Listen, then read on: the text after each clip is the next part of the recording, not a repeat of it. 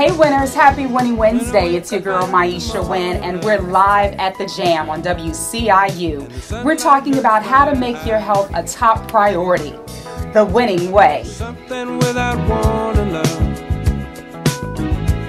bears heavy on my mind. Then I look at you,